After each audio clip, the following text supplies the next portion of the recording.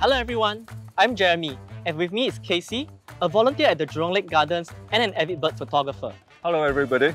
Today, let us take you around Lakeside Garden of Jurong Lake Gardens to look out for some of the birds that you can see here. Jurong Lake Gardens is the first national garden located in the heartland. It is a people's garden where families and the community can come together. Lakeside Garden, a 53 hectare garden centered around the theme of nature, play, and the community, is the first phase of the gardens to be completed. The garden is also home to lots of biodiversity, including more than 170 bird species recorded here. So KC, where are we headed to first? Let's go to the Eco Pond at the Clusia Cove. Let's go! Here we are at Clusia Cove, a 3 hectare closed loop water system where water from the play area is filtered by plants in the eco ponds and treated before cycling back into the play area. Jeremy, you see there's a bird on the water edge there?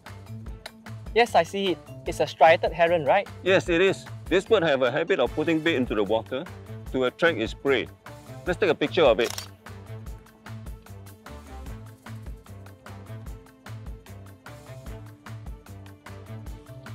So KC, what is it about bird watching and photography that you enjoy so much? Bird watchings and photographies allow me to better understand nature and the natural world. Understanding their behaviors allow me to appreciate and photograph them better. I can also share this knowledge with friends and people online and during guided walks in the gardens. Shall we head to Forest Ramble to see what else we can spot next? Yeah, let's go. Forest Ramble is a playground inspired by nature, with 13 different adventure stations inspired by our native fauna. The play features here have been designed to enable children to mimic the natural movements of these animals. The nearby lake and natural wooded look of the play garden also allow for encounters with many of our feathered friends. I spot an oriental magpie robin. Do you see it over there? Let me take a look.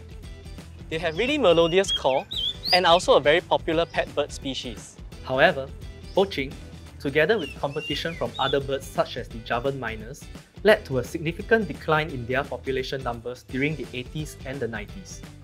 Their numbers have slowly recovered and they are now regularly seen in many of our parks and gardens. At the southern end of the gardens, the meandering boardwalk at Rasau Walk is a restored wetland that brings you up close to the water's edge. Here, you can see some of the freshwater swamp forest plant species, such as the salak palm and the nipa palm. Along the water's edge, you can spot water birds such as the white-breasted water hen. These birds have long legs and toes that allow them to forage among aquatic vegetation easily. They are generally shy and prefer to run for cover instead of flying away. The vegetation around the boardwalk is also a popular resting spot for birds such as the grey heron. The grey heron is the largest of the resident herons in Jurong Lake Gardens, standing up to a meter in height. These herons nest together in colonies called heronries on tall trees such as the casuarina tree. Right next to Rasau Walk is one of my favourite scenic spots, the grasslands. And do you know that it is also a popular spot for bird watching and photography? Yes, I have seen many photographers around here and there are also dedicated bird hides for bird watching. Okay, let's go and take a look. The grass seeds at the grasslands are an important food source for some of the bird species found here.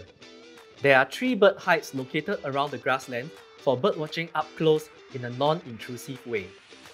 A grassland bird species that reside in the grassland is the lesser coucal. Unlike most cuckoo species, they build their own nests and they are usually seen sunning themselves on top of shrubs in the early morning or after periods of heavy rain. The grasslands is also home to the Zitting cisticola.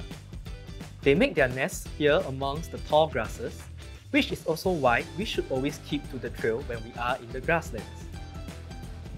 We hope you have learned a bit more about the bird species of Lakeside Garden at Jurong Lake Gardens. KC, thank you for joining me for a fulfilling day of bird watching and for sharing your knowledge with everyone. It's my pleasure. Thank you everyone for watching and we hope to see you soon. Bye! Bye.